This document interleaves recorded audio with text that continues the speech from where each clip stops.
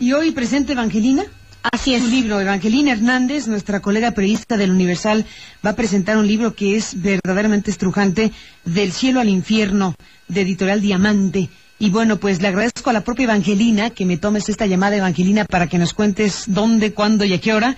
Sobre este libro, bueno, pues versan estas historias eh, que has podido compilar, seis narraciones de vida de víctimas de trata de personas, eh, niñas y mujeres que pues eh, decidieron hablar contigo y contarte lo que te han contado, Evangelina. Gracias por tomarme la llamada. Buenos días. Carmen, buenos días. Buenos días a tu auditorio. ¿Cuándo presentas el libro y en dónde? Hoy a las 12 del día en la Biblioteca Vasconcelos, acompañada por la diputada Rocío Orozco, eh, compilamos estas historias este, de, de, seis víctimas de trata de personas, niñas, niñas de una niña de 10 años hasta una mujer de, de 30 y algo, ¿no? Son seis testimonios y te cuentan la experiencia vivida por cada una de ellas en este fenómeno deplorable de la trata de personas. Eh, veo, por ejemplo, eh, cómo se puede ver a través de, la narración de estas personas, de estas niñas y mujeres, pues eh, el, modus operandi que se da de pronto con estas redes de enganchamiento de, de, mujeres y de personas, eh, cómo se cómo se va capturando la vida de ellas y cómo se les coloca en un circuito de explotación sexual tremendo. Está el caso de Claudia, de 13 años, que nos eh, narras cómo enamorada por un hombre que además de enamorarla, la vendió 30 veces. 30 veces en un día. Oh. Los, los, los servicios sexuales que ella prestaba eran 30 veces en un día. En una noche eh, tenía que atender a, a 30 clientes para juntar lo que, lo que él llamaba una cuenta, que ascendía a una cantidad superior a tres mil pesos y que ella tenía que entregarle todos los días. Así que sin descanso, sin alimento, una niña de 13 años expuesta a eso.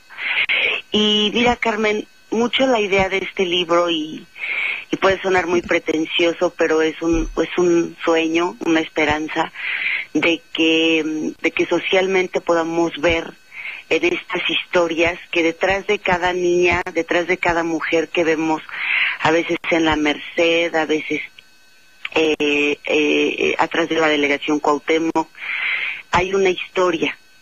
Y regularmente hay una historia de dolor y como sociedad nos hemos acostumbrado a ver a estas mujeres como parte del paisaje urbano y llegamos a decir que lo hacen porque les gusta o que ejercen el oficio más viejo del mundo y no es así.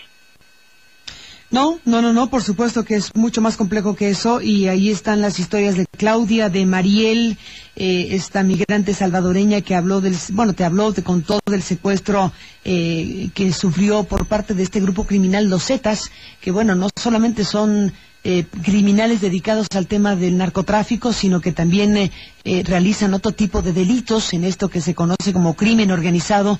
Ahí cabe el narcotráfico, ahí cabe la trata, ahí cabe un conjunto de delitos que forman parte del crimen organizado.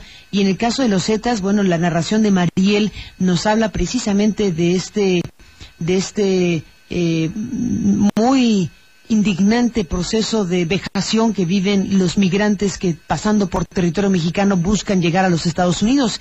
El caso de Mariel, como cuentas Evangelina Hernández, pues es crudísimo y es un botón de muestra de este fenómeno lamentablemente que se repite masivamente en nuestro país.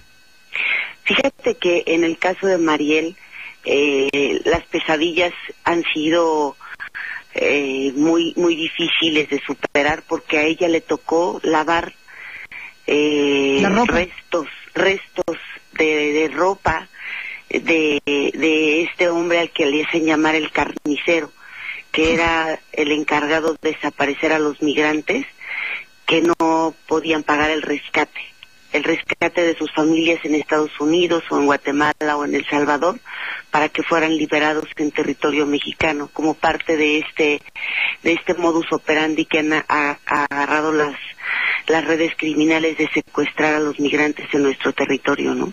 Tremenda la historia, sin duda. Pues Evangelina Hernández está hecha la invitación para la presentación de tu libro Del cielo al infierno de Editorial Diamante. ¿Nos repites el dato? A las 12 en... La Biblioteca Vasconcelos. En la Biblioteca Vasconcelos. Evangelina, gracias por contarnos. Estamos al lado como siempre y buenos días. Gracias, Carmen. Buenos días. Igual a la periodista colega del Universal que presenta este libro el día de hoy. Tremendas historias, tremendas historias. Estas seis, estos seis casos de niñas y mujeres que pues aceptaron precisamente compartir sus vivencias dolorosísimas, tremendas, con la colega Evangelina Hernández y que se han traducido en este libro que empieza a circular.